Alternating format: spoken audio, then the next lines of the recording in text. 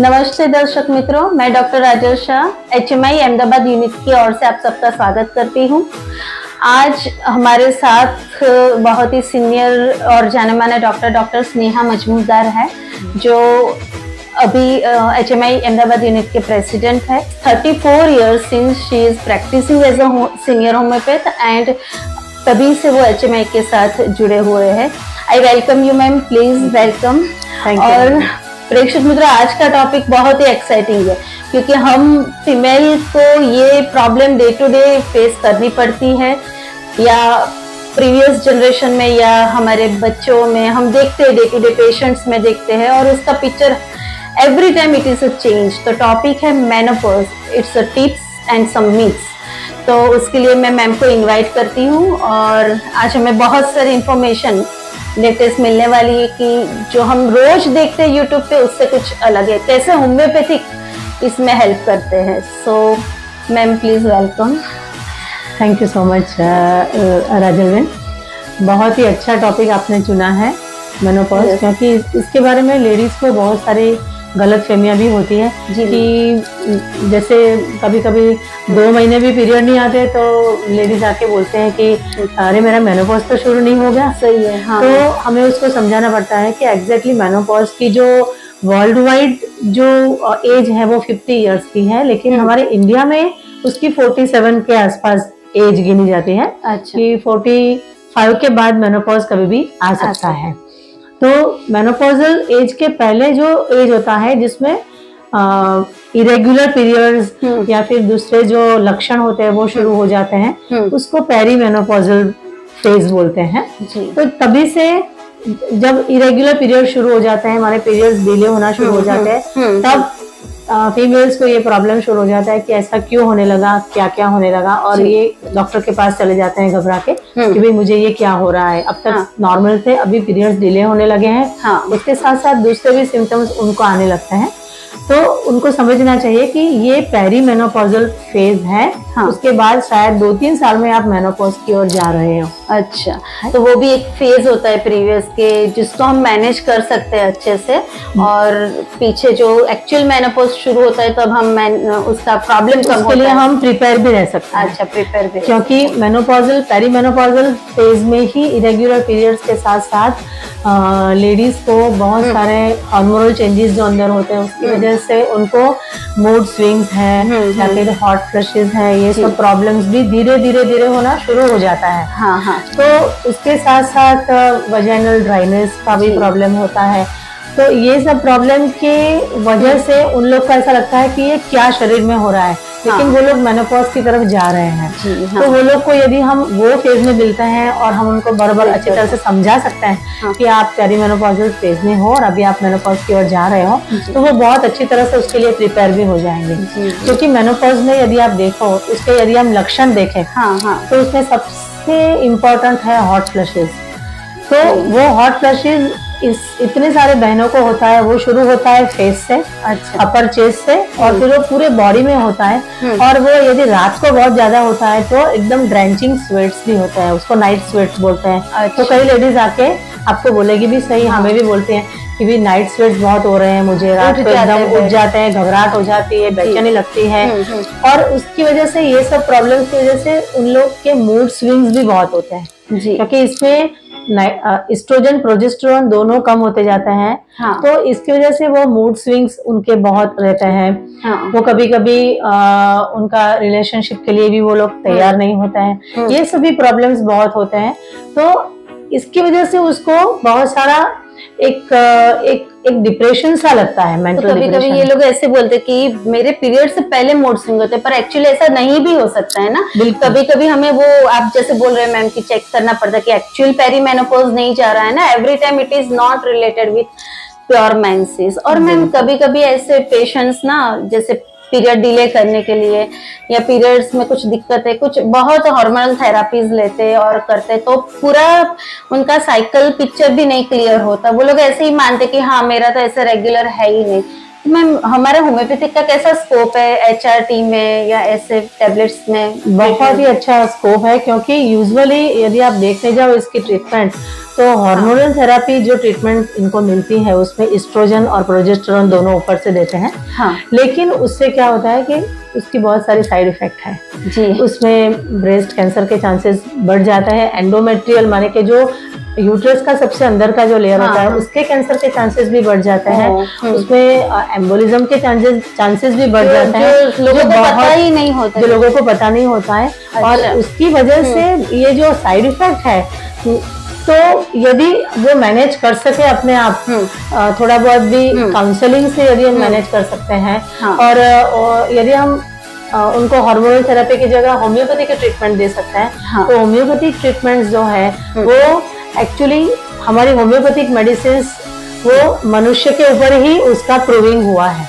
अच्छा तो फीमेल्स और मेल सबके ऊपर उसका प्रूविंग हुआ है और हाँ. सभी एज ग्रुप में उसका प्रूविंग हुआ है तो हाँ. तो हमारे पास मेनोपॉजल एज में रिलेटेड मेडिसिन भी है अच्छा सो ब्यूटीफुल हाँ तो उसमें वो जो मेडिसिन है वो बहुत अच्छी तरह से ब्यूटीफुली काम करती है उसके हाँ. मूड स्विंग्स को भी ठीक करती है dryness of vagina everything is taken care of and hot flushes तो है ही। हम्म। साथ साथ में इरेगुलर पीरियड्स का भी वो इसमें हम्म। केयर हो जाता सारे फ़िज़िकल सिम्टम्स तो कवर करती है होम्योपैथिक बहुत अच्छे से। साथ में साइकोलॉजिकल भी आपने बताया जैसे ह्यूमन पे प्रूविंग हुआ है तो जैसे मेंटल पे भी इफ़ेक्ट तो आप थोड़ा और बताए मैम कि साइकोलॉजिकल कैसे सपोर्ट देती है होम्योपैथी देखो होम्योपैथिक मेडिसिन साइकोलॉजिकली इस तरह से सपोर्ट देती हैं कि सबसे पहले तो जब कोई फीमेल पेशेंट हमारे पास आती है हम्म, हम्म। तो होम्योपैथिक केस टेकिंग जो है वो पूरा हेड टू फुट उसका हिस्ट्री लेता है फिजिशियन हेड टू फुट उसकी हिस्ट्री हम्म। लेता है तो आधा पौना घंटा या करीबन एक घंटा बैठ के सबसे हाँ। पहले तो उसके साथ फिजिशियन कोई बात करता है और उसके साथ प्रॉब्लम जानता है वही उसके लिए सबसे बड़ी बात करने वाला कोई चाहिए तो वो हाँ। सब उसका जो अं, अंदर का जो भी उसके मन में चल रहा है जो भी डाउट चल रहा है क्योंकि हम्म। बहुत सारे प्रॉब्लम्स की वजह से उसको ये भी लगता है कि हम्म। मेरे हस्बैंड मुझे शायद निग्लेक्ट करेंगे या फिर वो खुद को एक अलूफनेस की दुनिया में चली जाती है वो महसूस करती है कि मैं अकेली पड़ गई हूँ मेरे साथ अच्छा, कोई बात हम्म। नहीं कर, करेगा हाँ। मुझे ऐसा सब कुछ हो रहा है ये सब कुछ अनयूजल है तो वो सब पेशेंट्स जब आते हैं तब हम उसके साथ जिस तरह से बात करते हैं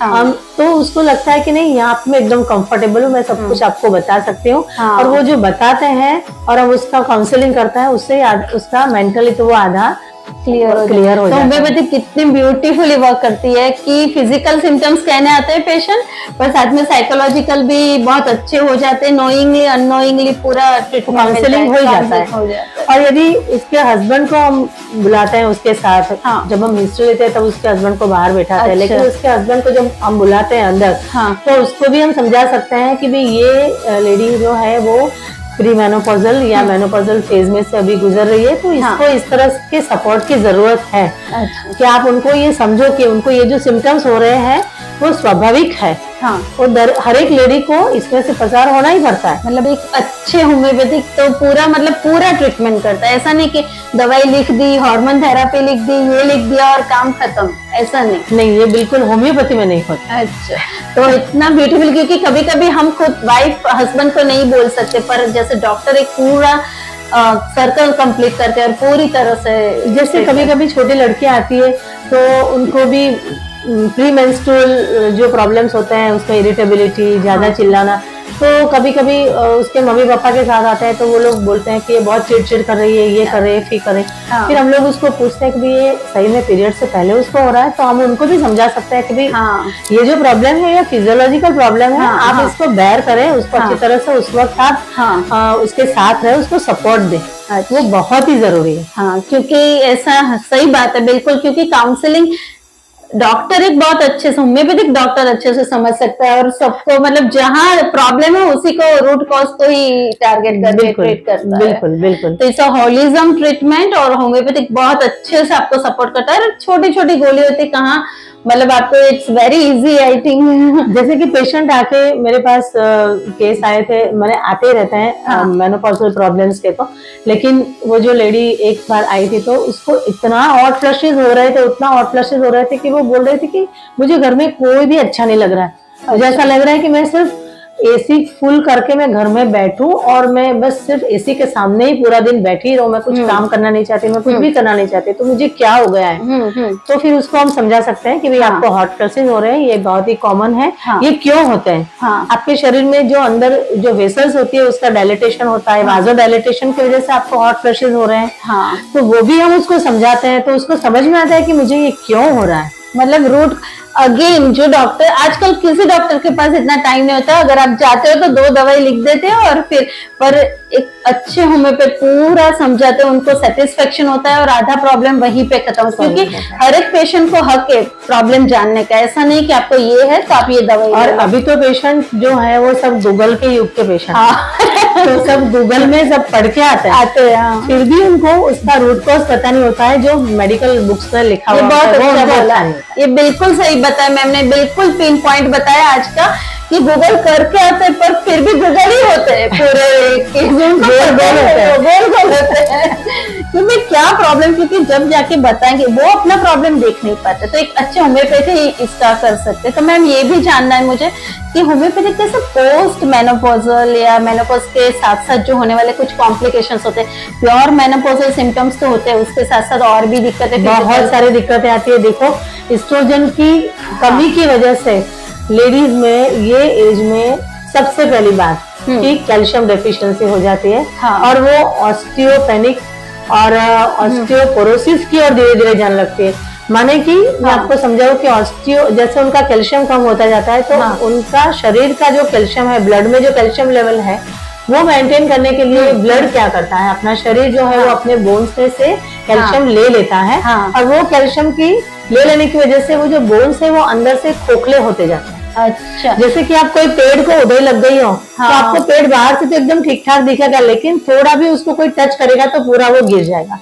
सेम ऐसा ही हमारे कैल्शियम न होने की वजह से या कम होने की वजह से फीमेल्स में ये प्रॉब्लम बोन्स में बहुत ज़्यादा होता है अच्छा और मेनली हिप बोन फ्रैक्चर बहुत ही कॉमनली देखने को मिलता है है ओल्ड एज में। हाँ मतलब फोर्टी के बाद शुरू ही हो जाता है हाँ। ऐसा मान लो हाँ। फीमर ऑफ़ द नेक वो आ, उसमें बहुत ही वो उसका फ्रैक्चर देखने को मिलता है और फिर उसके बाद बहुत डिफ़िकल्ट होता है। हाँ। तो मेरा तो ये सबसे पहला सजेशन होता है मेनोपॉजल एज में या पोस्ट मेनोपॉजल एज में कि उनको कैल्शियम का बहुत ख्याल रखना चाहिए। हम्म। एक फोर्टी की एज के बाद रेगुलरली कैल्शियम अपने डाइट में से लेना चाहिए। और हाँ। यदि डाइट में से सफिशियंट नहीं है तो वो लोग सप्लीमेंट भी कर सकते हैं। बिल्कुल एक मैं रुकना चाहूँगी कि बिल्कुल सही बोला कि सिक्सटी के बाद कैल्शियम ऐसा नहीं है। जैसे हम बोलते हैं कुछ एज होती है धर्म करने का ऐसा कुछ नहीं रिलीजियस जैसे कैल्शियम का पहले आपको ये बताऊँ कि जैसे हम कभी कभी ऐसा होता है कि हमारे होम्योपैथी के यदि स्टूडेंट ये वीडियो हाँ। ये देख रहे हैं हाँ। तो उनको मालूम होगा कि होम्योपैथी में ट्रायोज भी बहुत अच्छे होते हैं हाँ, हाँ, जैसे हाँ। सल्फ़र कैलकेरिया और लाइकोपोडियम का ट्रायो है जी, हाँ। या या फिर अ, अ, उसके उसके साथ हम लोग इसके बाद लेकेशिस भी ले सकते हैं हाँ। तो इस तरह से हम ये ट्रायोज भी मेडिसिन के जो है वो हम ये हाँ। मेनोपॉजल एज में ले सकते हैं हाँ सेपिया है वो सल्फ़र सेपिया पेशेंट जो है वो वैसे चीली पेशेंट होता है लेकिन हाँ। ये मेनोपॉजल एज में आने के बाद वो हॉट हो जाता है हाँ। तो इसका थर्मिक रिएक्शन चेंज हो गया है तो हम लोग सोच सकते हैं कि अभी ये किस और जा रही है उसको हाँ। की ज़रूरत है उसको लैकेशिस की ज़रूरत है उसको। प्लेटिना की ज़रूरत है क्या है क्या है तो हम उसको हाँ। समझ सकते हैं और उसके सिम्टम्स के हम्म। कभी कभी ऐसा होता है कि सेपिया के जो टिपिकल सिम्टम्स होते हैं बैरिंग डाउन सेंसेशन है हाँ। और cross sitting with cross legs है हम्म। या फिर सेपिया का जो मेंटल स्टेटस है हाँ। सेपिया एक ऐसी वुमन है कि जिसने बहुत सारी अ, अपने स्ट्रगल की है अपने लाइफ में हाँ अपने अ, पूरे परिवार के लिए और अपने लाइफ में आगे बढ़ने के लिए हाँ। तो उसके लिए सेपिया अ, यदि उसका मेंटल और फ़िज़िकल स्टेट देख के हम लोग देख सकते हैं तो सेपिया हम लोग दे सकते हैं। सेम वे लेकेशिस यदि पेशेंट आती है तो उसका तो लेकेशिस के तो सभी हाँ। लोकेशियसनेस हाँ, से हाँ। लेके उसका जो होता है वो पेशेंट हमेशा बोलती है कि हमें कुछ भी फिट मैं कुछ भी टाइट नहीं पहन सकती हूँ। हाँ। मैं कोई भी कपड़ा मुझे टाइट चलता ही नहीं है मुझे सब लूज क्लोथिंग चाहिए। हाँ, मुझे हाँ। फ़ैन भी चाहिए तो मुझे इस तरह से चाहिए कि मुझे कांस्टेंट फैनिंग मिलता रहे हाँ। लेकिन फास्ट फ़ैन नहीं चाहिए। हाँ। तो इस तरह से जो लैकेशियस पेशेंट होती है उसमें हम लोग बहुत सारी मेंटल और फ़िज़िकल सिम्टम्स के ऊपर हम लोग मेडिसिन दे सकते हैं। मैनोरेजिया का प्रॉब्लम्स रहता है ब्लीडिंग का हाँ, प्रॉब्लम्स हाँ, देखा है। हाँ। वो भी अ, हमें स्नेक रेमेडीज में ज़्यादा देखने को मिलता है। हाँ। तो ब्लीडिंग का जो टाइप होता है उसके ऊपर भी हम लोग देख सकते हैं। अच्छा। का जो पूरा हाँ, ग्रुप है वो क्लॉटिंग वाले हाँ। ब्लड ज़्यादा आते हैं तो हम हाँ, उसका हाँ। सोच सकते हैं। लेकेशियस में हम जाए तो हाँ। थिन रेड ब्लड हाँ, आता है। हाँ, तो बहुत सारी अलग अलग चीज़ें होम्योपैथी में है हम्म, हम्म। जिस तरह से जिसको देख के हम अलग अलग होम्योपैथिक मेडिसिन के लिए हम्म। सोच सकते हैं उसके सिम्टम्स को मैच करके पूरा रेपर्टराइज करके हमें। मेडिसिन देनी है सिम्टम टोटालिटी के ऊपर हमें मेडिसिन देनी है क्योंकि होम्योपैथी जो है। वो होलिस्टिक साइंस है हाँ वो इंडिविजुअलिस्टिक या फिर वो फ्रेगमेंटरी अप्रोच उसका बिल्कुल ही नहीं, नहीं है। है। मैम ने बिल्कुल सही बताया कि अगर आप एक सिम्टम देख के सिर्फ़ दे दिया या किसी एक तीन दवाई चूज़ करके रखिए कि भी जो भी पेशेंट है हम दे दे तो वो कभी काम नहीं करेगी। फिर ऐसा होगा कि दवाई काम नहीं करे ऐसा नहीं है। होम्योपैथिक तो काम कर रही है होम्योपैथ काम नहीं कर रहा है तो मैम का कहना ऐसा ही है बिल्कुल।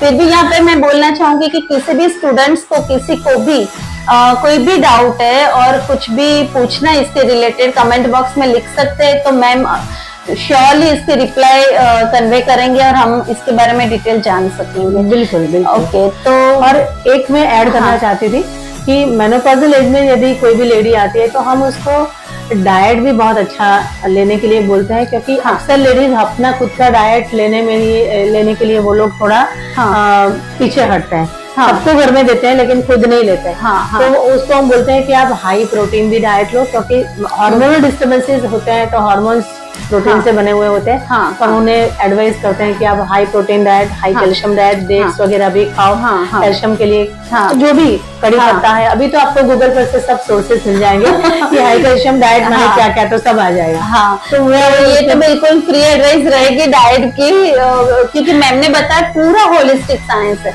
एंड होम्योपैथिक बहुत अच्छे से ट्रीट करता है और मैम ने टिप्स भी दी कि कहाँ से आपको कैल्शियम सोर्स ज़्यादा मिलता है तो मैम इसके साथ ये भी थोड़ा जानना है आज हमें कि बिल्कुल पेरी मेनोपोज मेनोपॉज से ध्यान रखोगे तो मैम बोल रहे हैं कि ऑस्टियोपोरोसिस ऑस्टियोपेनिक में आप नहीं जाओगे। क्योंकि हमारे शरीर में जो कैल्शियम का एब्सॉर्प्शन है वो ही हम्म। 30 35 के बाद उसका एब्सॉर्प्शन रेट ही कम होता जाता है। अच्छा। तो हमें कैल्शियम का इंटेक वैसे करना चाहिए स्पेशली लेडीज़ को। हाँ। इसलिए मैं बोल रही हूँ क्योंकि ये मेनोपोजल में उनको ऑस्टियोपोरोसिस का प्रॉब्लम ना हो।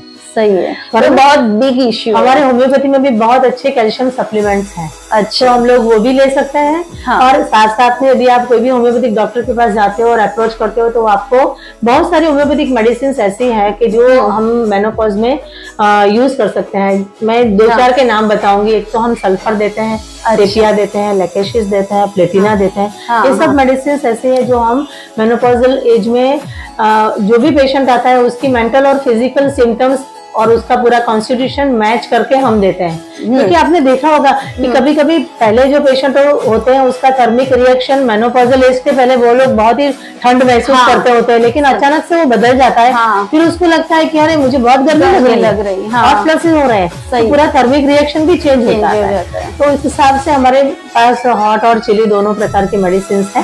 जो दोनों थर्मिक रिएक्शन वाले पेशेंट्स के लिए बहुत ही इम्पोर्टेंट भी होती है। तो होम्योपैथिक स्टूडेंट्स के लिए ये टिप्स है कि ये कुछ पिन पॉइंट ड्रग्स है पर ये दवाई आपको ऐसे बिना होम्योपैथिक डॉक्टर के एडवाइस नहीं लेनी जैसे मैडम ने बताया कि पूरा थर्मिक रिएक्शन बदलता है पूरी हिस्ट्री लेते हैं। पर we have a good good medicine अभी और भी मैम बताएँगे हमें डिटेल उसके बारे में। पर मेडिसिन बहुत जो मेनोपोजल या पेरी मेनोपोजल है तो उसमें क्या कोई टेस्ट या डायग्नोसिस करवाना ज़रूरी है? बिल्कुल ज़रूरी है। यदि पेरीमेनोपॉजल में कोई भी वुमन होती है इरेगुलरिटी शुरू हुई है अभी और वो मेनोपॉज की ओर जा रही है तो हम हमें कंफर्म करने के लिए एक इसका हार्मोनल ऐसे हम करवा सकते हैं। इसमें F S H L H prolactin ये सब चीज़ों का हम ऐसे करवा के उसका एक कम कंफर्मेशन ले सकते हैं कि अभी ये सब कम हो रहा है माने ये पक्का इसकी ओर ही जा रही है। दूसरा जैसे एस्ट्रोजन की कमी होती है तो आपका कैल्शियम एब्सॉर्प्शन पर भी उसका इफ़ेक्ट आता है। हाँ, तो कैल्शियम की भी कमी होती है। तो यूजुअली पेशेंट्स बोलते भी है मेरे हाथ बहुत दुखते हैं पैर हाँ, बहुत दुखते हाँ, हैं हाँ। बैक एक हो रहा है ये सब पेशेंट्स की फरियाद होती है हाँ। लेकिन उसके साथ साथ यदि हम लोग हम्म वो कैल्शियम का भी एक टेस्ट करवा सकते हैं उसकी हाँ। बोन डेंसिटी कैसी है वो भी हम यदि हाँ। चेक कर सकते हैं हाँ। तो bone density test is also very important ताकि हम उसको प्रॉपरली एडवाइस कर सके कि आपको क्या करना है और हाँ, क्या नहीं करना हाँ हाँ यदि ऑस्टियोपोरोसिस प्रिवेंट करना है मेनोपोज हाँ, के बाद हाँ, हाँ। तो उसको हम बोल सकते हैं कि प्रॉपर एक्सरसाइज हाँ। और कैल्शियम इंटेक की बहुत इम्पोर्टेंट हाँ हाँ। और गायनिक चेकअप के ऐसा कुछ ज़रूरी होता आ, है? गायनेक चेकअप भी बहुत ज़रूरी होता है। यदि गायनिकोलॉजिस्ट को आप मिलकर उसका गायनिक चेकअप करवाते हो तो आप आपको वजाइना में भी अच्छा। साइंस और सिम्टम्स मिलता है। अच्छा। जिसकी वजह से भी वो लोग आपको बता सकते हैं। डेफिनेटली वो हम डायग्नोसिस मिलने के बाद हम उस हिसाब से दवाइयाँ भी अच्छे से बिल्कुल। हैं। तो ये बिल्कुल ज़रूरी है कि आज के जमाने में अगर हमें प्रॉपर ट्रीटमेंट करनी है, क्योंकि पेशेंट जब बताता है तो ऐसे क्लियर कोई पिक्चर नहीं होता डिज़ीज़ का, पर हमें कंफर्मेशन चाहिए और लैब टेस्ट और वो सब तो बिल्कुल ज़रूरी हो गया है आज की लाइफस्टाइल के हिसाब से तो अगर हम वो करवाते मैम ने बताया कि आप करवाओ तो proper to the point treatment होती है और आपका पूरा क्योर होने की, या डिज़ीज़ कंडीशन स्टॉप होने की, या कॉम्प्लिकेशन को रिवर्स करने का पूरा पूरा चांसेस है तो बिल्कुल मेनोपॉज एक नेचुरल फिनोमिन है हाँ, हाँ। और वो नेचुरल फिनोमिन फिजियोलॉजिकल फिनोमिन है हाँ। तो वो जैसे कि पीरियड्स तो बंद होते है, हैं बारह महीने तक यदि बंद रहते हैं तो आप समझ लो कि आपका मेनोपॉज अच्छा। आ गया है। तो वो हम अच्छी तरह से पेशेंट को यदि समझाए तो वो समझ में आता है कि ये नॉर्मल कंडीशन है फिजियोलॉजिकल कंडीशन है और इसके इसे मुझे एक्सेप्ट ही करना है। हाँ नहीं तो काफ़ी लोग ये मतलब आगे पीछे की दवाई या चलो होम्योपैथिक नहीं चल रही है कोई साइकोलॉजिकल दवाई का सहारा लेके भी फिर लाइफ लॉन्ग वही लेनी पड़ती है। तो मेरे को गिफ्ट दे के ज़रूरत जाता है ये है पूरी।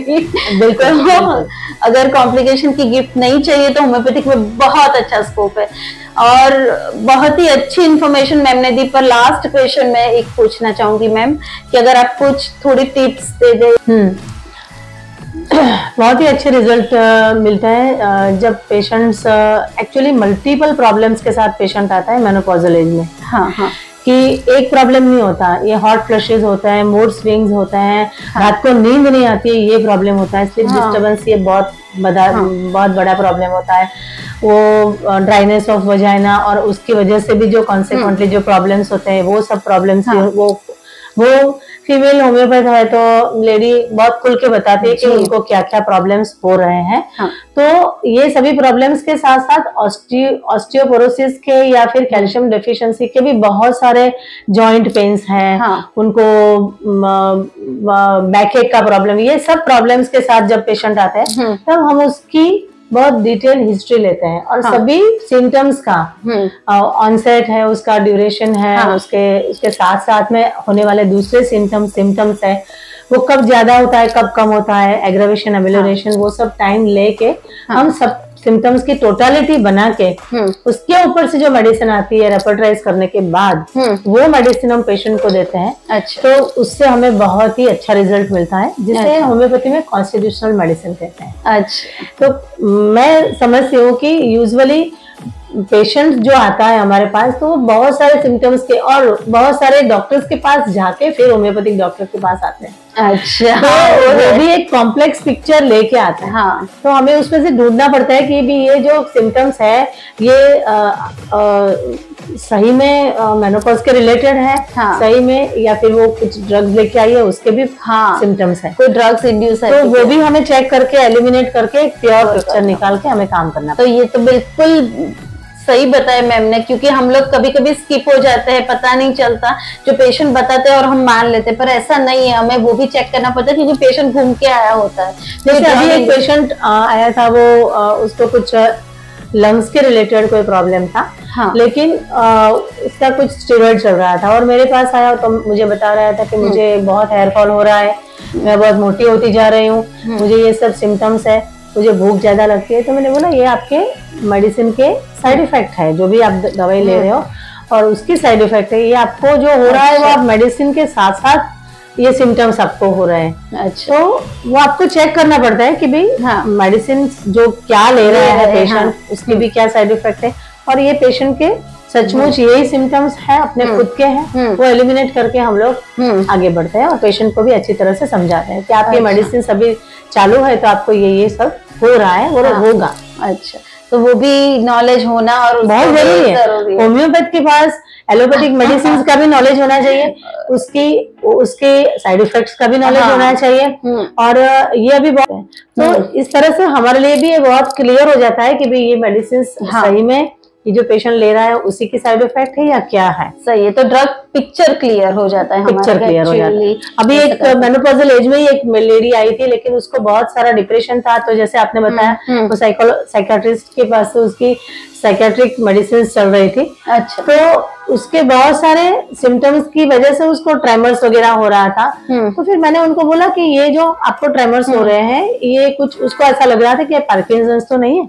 अच्छा तो मैंने सोचा ये आपको पार्किंसंस नहीं ये हाँ। आपको जो ट्रेमर्स हो रहा है छोटे हाँ, बहुत या हाँ। कुछ भी हो रहा है हाँ। उसके लिए हमने उसके टेस्ट वगैरह करवाए लेकिन वो मालूम पड़ा कि ये मेडिसिन की थोड़ी जो भी साइड इफ़ेक्ट होती है उसकी हाँ। वजह से हाँ, तो हाँ। पेशेंट को ये बहुत रिलीफ देता है समझाने हम्म मतलब एज अ होम्योपैथ अगर आप किसी की दवाई कम करते हो या किसी की दवाई का साइड इफ़ेक्ट को डायग्नोज करते हो और उसको उसकी हैबिट से भी ज़रूरी नहीं है ज़रूरत है तो हम देते ही ऐसा कोई मेडिसिन का अपोज नहीं पर जैसे मैम ने बताया कि आप डायग्नोज करो प्रॉपर और वो डिज़ीज़ है या सेकेंडरी सिम्टम्स है ड्यू टू ड्रग तो वो करते हैं तभी you are a great doctor ma'am कुछ टिप्स जैसे ये आपका एक्सपीरियंस वाले कोई केस एक आध आप बता सकते हो कि जिसमें आपने कैसे क्रैक किया दवाई? या, या, एक लेडी मेरे पास आई थी और उसको बहुत सारे इश्यूज़ थे बहुत सारे अलग अलग इश्यूज़ थे। लेकिन उसके साथ साथ जो प्रीवेलिंग सिम्टम्स था उसमें अच्छा। मैंने थ्रू आउट जो केस वो बोल रही थी और उसके उसके चेहरे के ऊपर दिख भी रहा था। इट वॉज़ अ सैडनेस तो अच्छा। प्रीवेलिंग था वो सैडनेस था। बहुत सारे सिम्टम्स थे हॉट हाँ। फ्लशेस थे हाँ। उसको इरिटेबिलिटी भी बहुत थी। गुस्सा भी जल्दी आ जाता था हम्म, हम्म। मेनोरेजिया का प्रॉब्लम था पूरा टिपिकल मेनोपॉज का। मेनोपॉज का सिम्टम्स हाँ। थे सभी उसको रात को नींद का भी प्रॉब्लम था मैंने अच्छा। बहुत देर से नींद आती थी और सुबह में फिर लेट उठती थी तो हाँ। उसकी वजह से भी उसका पूरा साइकिल हाँ। डिस्टर्ब हो जाता था घर में तो वो बहुत सारे सिम्टम्स के साथ साथ प्रिवेलिंग और प्रोमिनेंटली दिखने वाला एक जो सिम्टम्स था वो सैडनेस था। अच्छा। तो सैडनेस जो था वो वो सभी सिम्टम्स मैंने लिए लेकिन हम्म। उसके साथ साथ एक जो पूरी टोटालिटी बनी तो मैंने सैडनेस के ऊपर उसको नेट्रम्यूर दिया था। अच्छा। मैम एक सेकंड आप ये भी थोड़ा स्टूडेंट्स को या प्रैक्टिशनर को ये एग्जांपल दीजिए कि सैडनेस अपने ऑब्ज़र्व भी कैसे की ये भी एक नया पॉइंट है कि good observer homeopath should be a good observer तो हाँ। कैसे मतलब कुछ आप जैसे हम लोग सहज एक दूसरे को देख के स्माइल स्माइल करते हैं। हाँ हाँ सहज स्माइल करते हैं। मुझे मुझे अकेला ही रहना ज़्यादा अच्छा लगता है। हाँ, बराबर हाँ। तो वो ऐसा बोल रही थी कि और मैं किसी के साथ मेरी बात भी जल्दी शेयर नहीं करती हूँ अच्छा तो ये सब जो उसके सिम्टम्स थे हाँ। जो उसका जो सिक्रेटिवनेस था उसका हाँ। उसका वांटेड टू बी अलोन बराबर तो ये सब जो प्रॉब्लम्स थे और वो वो लग भी ऐसा लग भी रहा था मैंने उसके फेस के ऊपर जो मायूसी छाई हुई थी हाँ। वो हम देख सकते हैं अच्छा तो वो देट वाज विदाउट रीजन देखो किसी हाँ। के घर में कुछ प्रॉब्लम हो गया हो हम्म। सही में ऐसा कोई तो वो व्यक्ति आता है तो उसके चेहरे पर से हमें मालूम पड़ जाता है कि भाई हाँ। उसके घर में कुछ हुआ है और वो मायूस है और वो थोड़े टाइम के लिए ही होता है थोड़े मतलब टाइम के लिए होता है वो ट्रांजिएंट पीरियड होता है हाँ, हाँ। लेकिन ये पेशेंट जब भी आए तब उसके चेहरे पे एक मायूसी ही देखे। फिर मैंने उसको एक बार पूछा भी सही। हाँ। पहली बार जब पेशेंट आया तब आ, आ, मैंने उसको नेट्रोम्यूर दिया। लेकिन दूसरी बार जब पेशेंट आया उसने बोला कि मुझे थोड़ा फ़ायदा लग रहा है लेकिन उतना सारा फ़ायदा नहीं है। लेकिन हाँ। मुझे जो कॉन्स्टेंट लग रहा था कि ये मायूसी जो है वो नहीं जा रहे। रही तो मैंने उसको आप इतने उदास क्यों रहते हैं? अच्छा। वो मैंने उनको पूछा हाँ। कि इसके पीछे कोई वजह है क्या? हम्म। कि आपकी उदासी के पीछे क्या वजह है? इतने हाँ। आप उदास क्यों रहते हैं? माने वो जो सैडनेस था तो उसने मुझे बताया कि वो मुझे ही समझ में नहीं आ रहा है कि मैं उतनी उदास अच्छा। क्यों रहती हूँ। शायद मेरा ये मेनोपॉजल प्रॉब्लम है हाँ। या क्या है? मैं उसको खुद को ही उदास- पता नहीं था। खुद को ही पता नहीं था। तो सैडनेस विदाउट रीजन जो होता है मतलब एक अच्छे डॉक्टर पेशेंट को भी नहीं पता तो वो ऑब्ज़र्व कर हाँ लेते और फिर उसके फॉलोअप में जब तीसरी बार पेशेंट आई हाँ, तब हाँ। मैंने उसको आई सेपिया दी थी क्योंकि जो हाँ। नेट्रोमिर है उसकी कॉम्प्लीमेंट्री मेडिसिन हाँ। सेपिया भी आती है हाँ। और उसके बाद जैसे जैसे मुझे लगने लगा कि अभी ये सेपिया की ओर जा रही है तो मैंने उसको सेपिया मेडिसिन दी अच्छा तो जैसे नेट्रोम्यूर जो है वो इतना चिली नहीं है वो थोड़ा हॉट पेशेंट है हाँ। लेकिन जो सेपिया है वो चिली है चिली तो वो सब भी हम लोग देखते हैं हाँ। कि ये किस तरह से किसकी ओर जा रहे हैं हाँ। और जो मेडिसिन दे, हम देते हैं वो भी उसका फैमिली बैकग्राउंड में से जो हमें उसका जो मयाजम जो है हाँ, हाँ। वो भी हमें उसमें कवर हाँ, करना है हाँ। तो वो मेडिसिन जो पोलिक्रिस्ट रेमेडी है वो that should be covering the miasmatic block also अच्छा। Then and then the patient will get hundred हाँ, तो ऐसे बिल्कुल दवाई नहीं देनी है। अगर आपने पूरी टोटालिटी के साथ एक दवाई सिलेक्ट की तो उसकी फॉलोअप मेडिसिन देखनी चाहिए। और पेशेंट का स्टेट है और इसलिए- माइजम है। स्टूडेंट्स के मैं खास बना बताऊँगी कि आपको हाँ। रेमेडी रिलेशनशिप और जानना बहुत ही इम्पोर्टेंट है। आजकल हम लोग क्या करते हैं कि हम लोग रेमेडी रिलेशनशिप के बारे में इतना गौर नहीं करते। हाँ। हम लोग जो भी medicine present persistent predominant symptoms जो है हाँ। उसको हम ध्यान में रख के मेडिसिन देते हैं हाँ। लेकिन आज फैमिली में एक हिस्ट्री है उसकी मदर की यदि उसकी कैंसर की हिस्ट्री है फैमिली हाँ। में उसके फादर को पाइल्स की हिस्ट्री है हाँ। जो भी है आपको वो कंसिडर करके उसके अनुसार जो भी मायाजम्स आते हैं यदि आप मायाजमेटिक ब्लॉक रिमूव नहीं करेंगे हम्म। तो डेफिनेटली टोटल उसको टोटल क्योर नहीं होगा। थोड़ा क्योर होगा फिर बाद में वापस अच्छा लगेगा। वापस रिलैप्स होगा अच्छा लगेगा रिलैप्स होगा बिल्कुल इस तरह से सही बिल्कुल सही बताया मैम ने क्योंकि देर इज़ नो शॉर्टकट हमारे हनीमन सर ने भी बताया है और बिल्कुल सही है कि माइजम को तो हम अवॉइड नहीं ही कर सकते। Thank you so much ma'am आपने बहुत सारी इंफॉर्मेशन बहुत बहुत इजी वे बहुत प्यारी रियल लाइफ एग्ज़ाम्पल से समझाई हम। और ये बहुत ही टिप्स यूजफुल है और इसके अलावा भी जो कमेंट बॉक्स में आएँगे हम आपसे लेके आएँगे queries ma'am. Sure Rajal ma'am. Thank you thank you so much ma'am Thank you.